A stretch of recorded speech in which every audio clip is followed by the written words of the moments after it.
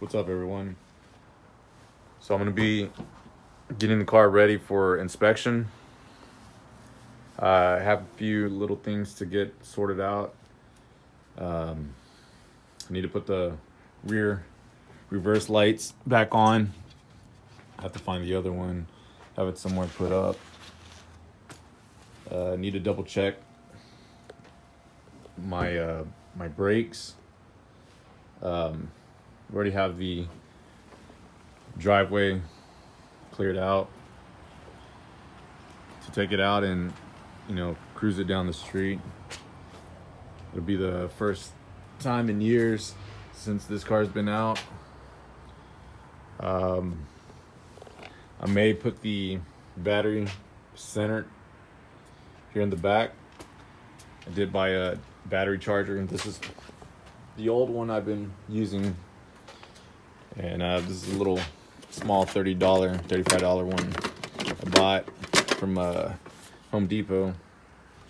So battery has a low charge and it's it's a pain in the butt to to pull it out from this back. This is how I have it set up. So that's where I cut that piece to slide the battery in and out. Uh, before, when I got this car, uh, whoever owned it, they cut off the uh, those struts, the reinforcement struts, and I went out a long time ago and, and bought some some pipe and welded that in. But uh, yeah, so need to get the reverse lights back on.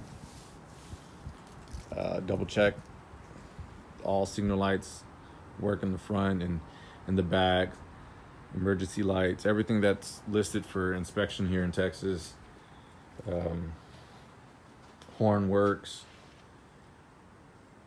uh, side viewers work so pretty much all the little stuff. Get it ready so i can send it to the paint shop and be ready for texas 2k here in texas. So um, I think that's pretty much it. Also, found the problem with the heated, uh, the coolant being a little bit too high. I did have a hose right there.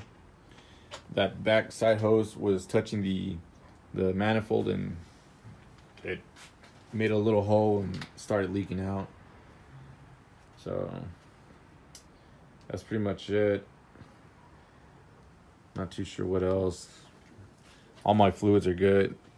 Transmission, uh, brake, and clutch. Coolant. Um, so it's, it's a matter of just time, just getting it ready to go. So I'm going to go ahead and charge up the battery and get it turned on.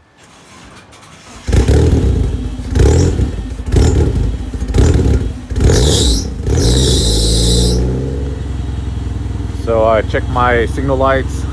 Uh, I'm gonna have to go buy some new turn signals for the front. And I need to figure out why the uh, the signal light for the left turn on the gauge cluster isn't blinking.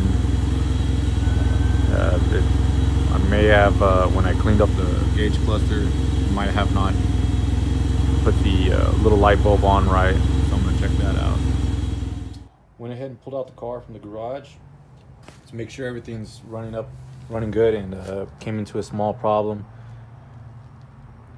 This fittings for my power steering, and I have a small leak somewhere around around the edge. I'm gonna go ahead and TIG, TIG weld that up here in just a few minutes. Pulled it all out and when I got out of the car, left the trail. Also had a coolant leak coming from the from the lower radiator hose. From the neck of the clamp. And went ahead and got that tightened up. It wasn't tightened up all the way. So yeah all the fluid sprayed all over. I thought it was the little cooler I have. Turned on the car, but nothing was leaking from the from the fittings. I may replace that Teflon tape with the, the glue I have. But uh, this is what um, what I have for the power steering. So for this process, I'm gonna TIG weld this fitting. Um, did find the hole.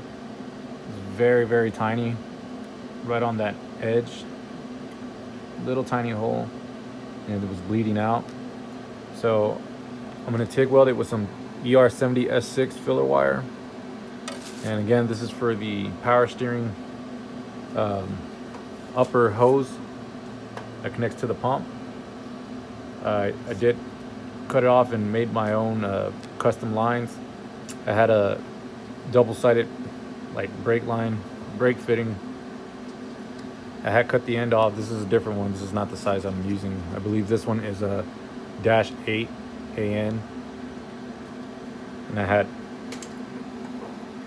MIG welded.